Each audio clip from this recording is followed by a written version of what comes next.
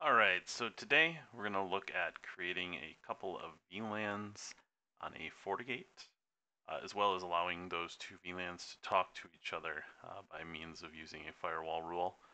Uh, we are on a FortiGate 60E, this is my home lab, and this is version 6.2.1, though this process is relatively the same, uh, going back quite a few revisions now actually. Um, so the reason I'm starting this whole video series, this is video one, is uh, a lot of people um, feel that network segmentation and VLANs and such uh, are, are difficult to understand. Uh, the reality is they're actually very easy to understand once you see it and it's explained in a way uh, that makes sense. So I'm trying to do that here. Uh, I will be doing various videos, mainly on Fortinet products, um, of different features and things that you can use. I'm trying to do these very short uh, and one topic at a time. So today uh, we're going to do VLANs. So as you can see off to the right, I created a checklist here uh, that kind of shows the whole process step by step, more or less, um, to give you something to look at uh, or screen cap without having to watch the whole video uh, or go through it. So without further ado, here we are on a FortiGate 60E. We are in the Network Interfaces tab uh, which is showing all of the interfaces uh, broken off the 60e here. Uh, for the purposes of this video, we are going to be mainly focusing on internal 3, video trunk, and as you can see I have it selected, it shows the port selected up here uh, on the FortiGate as well. Uh, the rest of this is things for my home lab, uh, but again, we're going to be mainly focusing on this trunk.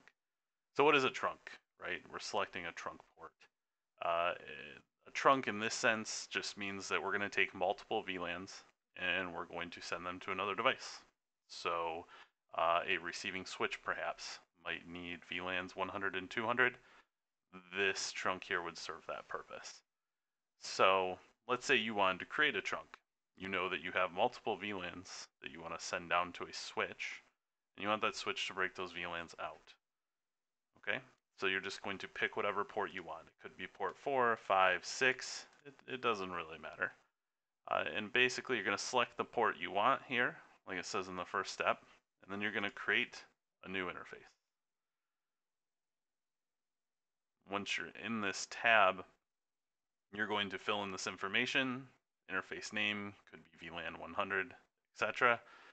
Uh, I already have these two filled out, so we we have VLAN 100 and 200. Uh, if you were to fill those in, this is what it would look like. So interface name was VLAN 100. It's using the interface port internal 3. It's tagged with VLAN 100. I'll go through that in a moment. Uh, and then this is the network that it's using. And that's really as simple as it is uh, as far as setting up a new VLAN on a FortiGate off of a switch port. Uh, obviously, there's a lot of other things that you can do here, but for main purposes, if you're looking to start on VLANs or test something out, this is sufficient to get the idea. Uh, I do have ping enabled on administrative access. All that does is allow us to ping the gateway of this subnet uh, from the device. So if you have a device on this network, you generally want to be able to ping the gateway. It's an internal network, there's no harm in that. And it gives you some sort of test for connectivity that the end device is able to talk back to the firewall. That's why I have ping enabled. So you'd fill this information in just as it is here, and you'd click OK. Well, you just created a VLAN off of this trunk port, right? Generally, you want more than one VLAN. That's the reason most people are doing network segmentation. So you create another one. Create new, interface, same thing, only this time VLAN 200. VLAN 200 has a different network, okay? Click OK, and now you would have this. You would see two VLANs. So you'd have VLAN 100, VLAN 200. All right, great. You have two different networks, etc. What does that mean? This is where people get lost, right? So I've created this extremely detailed paint diagram to walk you through it. As funny as it is, it actually makes sense. So you have your FortiGate here, and you have port 3, like we just created, right? You are going to tag VLANs 100 and 200 because those are your tagged VLANs here. So on this switch, that's the next hop in this network. on this port, whatever port that is, could be port 117, doesn't really matter. Whatever port you choose, you're going to tag VLANs 100 and 200. What that tells the switch is, okay, I understand VLANs 100 and 200 up here on the FortiGate are tagged coming from this cable that's coming into my switch port, right? So let's say this is switch port 1. You tag VLAN 100 and 200 on switch port 1 on your switch. The switch now understands VLAN 100 and 200. The switch now knows what to do with VLANs 100 and 200. It knows that if it gets a packet tagged with VLAN 100 or 200, or gets any kind of communication or packet coming from an untagged uh, device, it knows where to send that information back up to the firewall. Okay? So, great. The switch understands that I have VLANs 100 and 200. Well, how do I use those? Right? So come over here to these ports. I've created a couple examples here. We have the dumb PC that says, what is a VLAN? PCs generally don't know what a VLAN is. They can in some specific use cases, but this could be a phone, could be a computer, could be a laptop, right? Generally, those things aren't tagging a VLAN. Now, if you're doing a phone where the internet is passing through the phone to a desktop, then you would look at tagging. But in this case, in this example, I'm using an untagged VLAN to a PC, right? So we're going to untag VLAN 100 on this port because this dumb PC right here doesn't understand what a VLAN is. You have no tag of VLAN 100 on this PC. The PC just wants to talk to the interwebs. So you untag VLAN 100 on this switch port and boom, this PC will now have internet, assuming it has an IP address assigned to this network, which in this case would be 2020.21 slash whatever in the 24 range you want it to be. And it would be able to now come back into the switch. The switch would say, oh, I know what to do with that packet. And it will send it back up to the FortiGate, and hopefully you will have configured the FortiGate to be able to talk out to the internet. Maybe that'll be my next video. Now, on the flip side, over here you have vCenter, right? vCenter is so ready for VLANs vCenter loves VLANs, right? So we're going to tag VLAN 200 on the switch port that's connected to, into vCenter, right? So now vCenter knows that it has VLAN 200 and it's tagged and it's ready to give it to all these hungry VMs over here that really want to talk to the internet, right? So let's say you got 10 VMs in here, right? You would now untag VLAN 200 on these 10 VMs those 10 VMs are going to talk back to vCenter and say, hey, vCenter, we're on tag 200. vCenter says, oh, I know what to do with you, sends it back to the switch. The switch now knows what to do with that, sends it to the FortiGate, and the FortiGate sends it out to the internet. Simple, kind of, but you get the idea. So what do you do next? Why is this helpful, right? Everyone keeps telling you to use VLANs. Why do you care? Why is network segmentation important? Well, if I'm user on this PC, if I don't have network segmentation, I'm in the same network, I can talk to all these VMs over here in vCenter freely, right?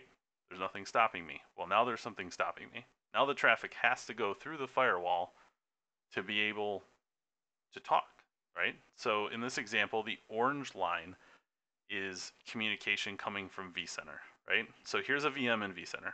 This VM wants to talk to this PC, right?